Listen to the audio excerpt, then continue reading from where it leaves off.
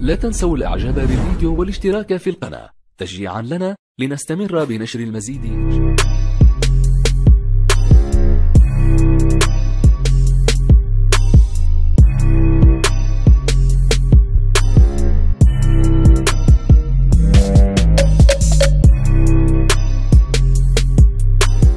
ما الذي سيحدث إذا فيما بعد؟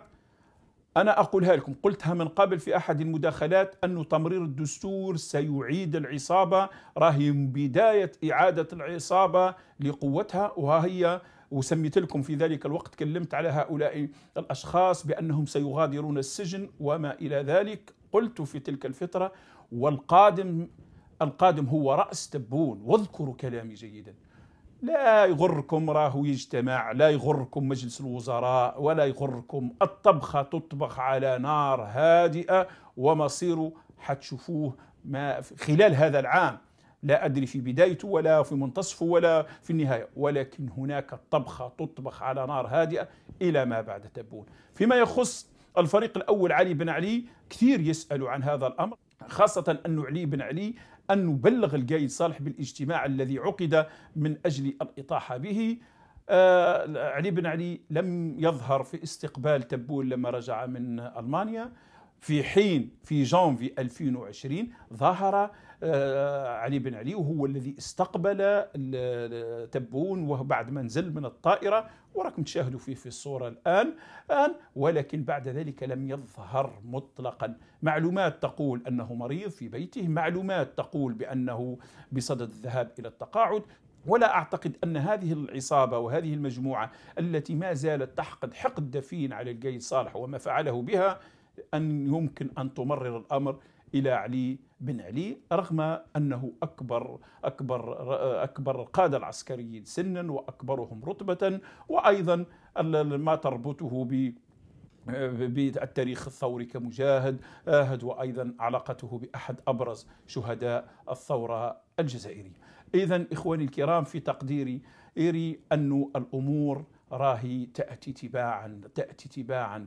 الدولة الآن لا تهتم لا بالحراك الشعبي لا تهتم بالشعب ولا تبالي به شيء. الآن مرحلة بسط النفوذ ومرحلة إعادة آه، النظام لنفسه وأنفاسه ولنفسه أيضا من أجل حتى يمضي قدما نحو تأسيس وإستعادة هيمنته على دواليب الدولة وهذا طبعا النظام معناها نتكلم على تلك العلبة الخفية وتلك العصابة الخفية التي تتواجد في عمق هذا النظام التي لا يمكن أن ترضى بتغيير ولا يمكن أن ترضى بغد آخر من دونهم.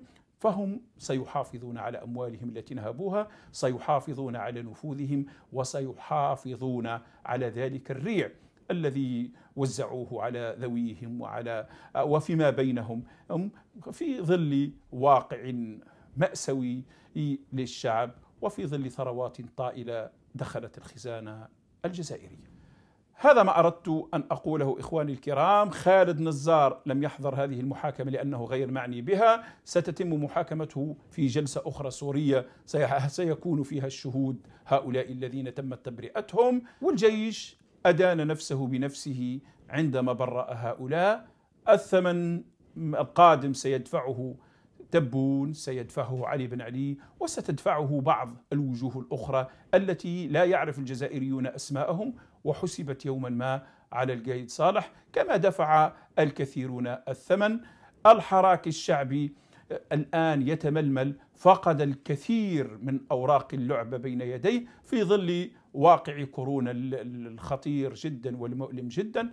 إذا لم يجتمع الجزائريون من نخب فكرية وثقافية وسياسية على خارطة طريق تجعل الشعب الجزائري يصحح مسار الدولة ولا يترك هذه هذه المجموعات وهي تعبث بمستقبله وتهيمن على الدولة مرة أخرى سيجد نفسه في واقع أبشع وأفظع وأشنع مما عاشه مع عصابة بوتفليقة. أتمنى أن أكون مخطئا في هذه التقديرات.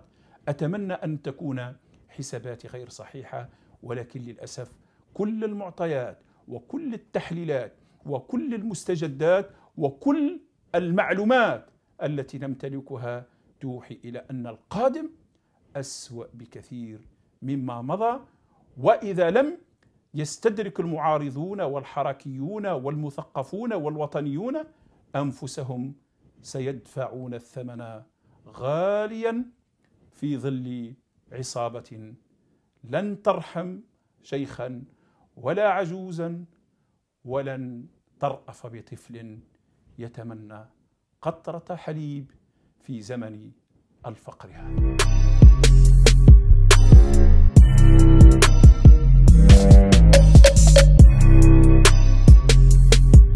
لا تنسوا الاعجاب بالفيديو والاشتراك في القناة. تشجيعا لنا لنستمر بنشر المزيد إن شاء الله.